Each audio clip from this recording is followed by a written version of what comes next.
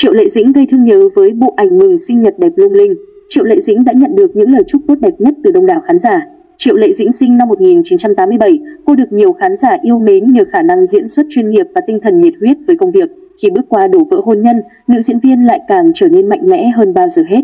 Ngày 16 tháng 19 là dịp sinh nhật lần thứ 37 của Triệu Lệ Dĩnh.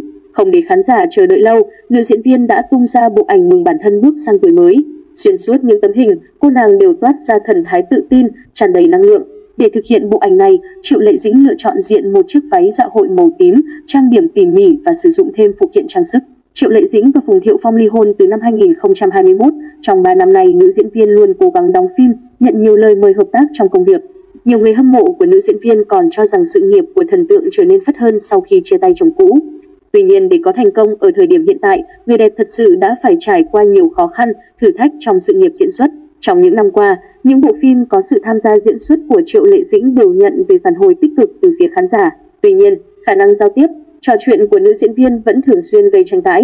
Cách đây không lâu, cô từng đưa ra phát ngôn được cho là kém duyên trong một sự kiện quảng bá phim. Nhiều khán giả cho rằng người đẹp nên tích cực trau dồi kỹ năng mềm, kiến thức để tránh gặp phải những tình huống tương tự. Triệu Lệ Dĩnh sinh ra trong gia đình có hoàn cảnh khó khăn ở vùng quê nghèo. Để theo nghề diễn, cô lựa chọn tham gia một cuộc thi và may mắn giành chiến thắng. Tuy nhiên, việc trở thành ngôi sao với người đẹp là điều không dễ dàng. Đến khi lọt vào mắt xanh của biên kịch Vu Chính, người đẹp mới có cơ hội tỏa sáng và duy trì phong độ cho đến thời điểm hiện tại.